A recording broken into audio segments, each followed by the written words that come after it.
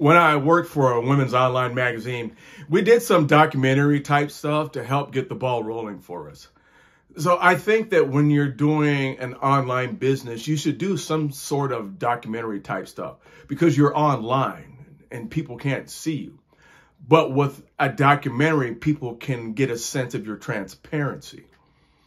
I thought about doing a documentary about how to turn your hopes and dreams into reality, but then I realized I live in Hollywood where hopes and dreams come to die.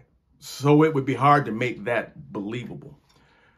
Then I thought that doing a documentary about how to start a cheesy, low budget media company with hot babes and horror movies would be more believable because people could see my failures.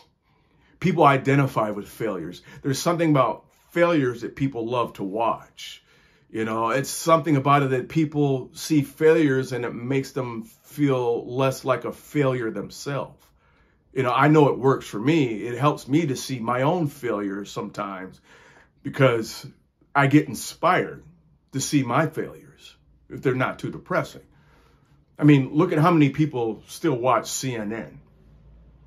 It doesn't get more failure than that or depressing. Failure loves company.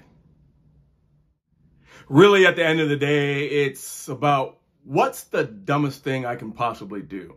because dumb makes people feel better because dumb makes people feel smarter.